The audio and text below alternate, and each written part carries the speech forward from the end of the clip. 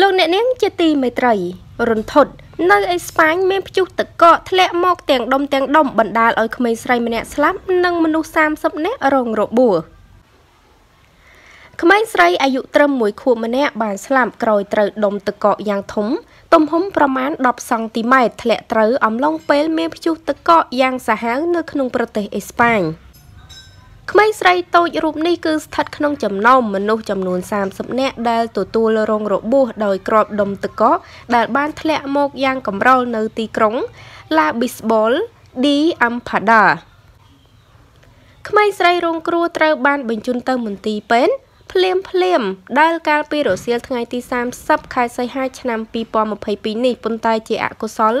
នាងត្រូវបានប្រកាសថាស្លាប់ត្រឹមប៉ុន្មានម៉ោងក្រោយ។ គួរឲ្យដឹងដែរថាភាគច្រើននៃជនរងគ្រោះទាំងអស់ដែលទទួលបានការព្យាបាលរបួសនោះគឺរងរបួសប៉ះពាល់ផ្នែកក្បាលនិងអ្នកខ្លះធ្ងន់ធ្ងរដល់បាក់ឆ្អឹងថែមទៀតផងចាពិតជារន្ធត់ខ្លាំងមែនតើព្យុះទឹកកកដែលមានទំហំធំធំប៉ុនកដៃបងប្អូនធ្លាក់មកត្រូវរបួសមនុស្សជាង30នាក់ហើយមានក្មេងស្រីម្នាក់ទៀតក៏បានស្លាប់បាត់បង់ជីវិតយើងឃើញទំហំទឹកកកស្រាប់ហើយបងប្អូនណា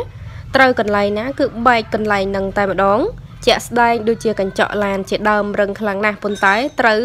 តកកនោះធ្លាក់ត្រូវគឺបែកខ្ទេចតែម្ដង ហើយចោះតម្រាំក្បាលមនុស្សសាច់ឈាមមនុស្សត្រូវកន្លែងណាក៏ដឹងតែឈឺខ្ទេចបាក់ឆ្អឹងទៀតផងបងប្អូន បច្ចុប្បន្ននេះបាតុភូតធម្មជាតិបានកើតឡើងប្លែកៗខ្លាំងមែនទែន ជាក់ស្ដែងដូចជាព្យុះទឹកកកនេះយើងធ្លាប់តែឃើញដុំទឹកកកធ្លាក់មកជាព្រិលល្អិតល្អិតតូចតូចក៏ដូចជាដុំទឹកកកមានទំហំប៉ុនមេដៃមេជើងតែប៉ុណ្ណោះហើយម្ដងនេះគឺធ្លាក់មកប៉ុនប៉ុនកដៃតែម្ដងពិតជាគ្រោះថ្នាក់ខ្លាំងមែនទែនហើយក៏បណ្ដាលឲ្យកុមារមួយរូបដែលមានអាយុទៅតែមួយខួបបាត់បង់ជីវិតផងដែរសូមចូលរួមរំលែកទុកយ៉ាងក្រៀមក្រំចំពោះក្រុមគ្រួសារនៃសម អរគុណច្រើនបងប្អូនទាំងអស់គ្នាតេតងនឹងព័ត៌មាននេះដែរក៏សូមបញ្ចប់តែត្រឹមនេះសូមអរគុណសូមគោរពលា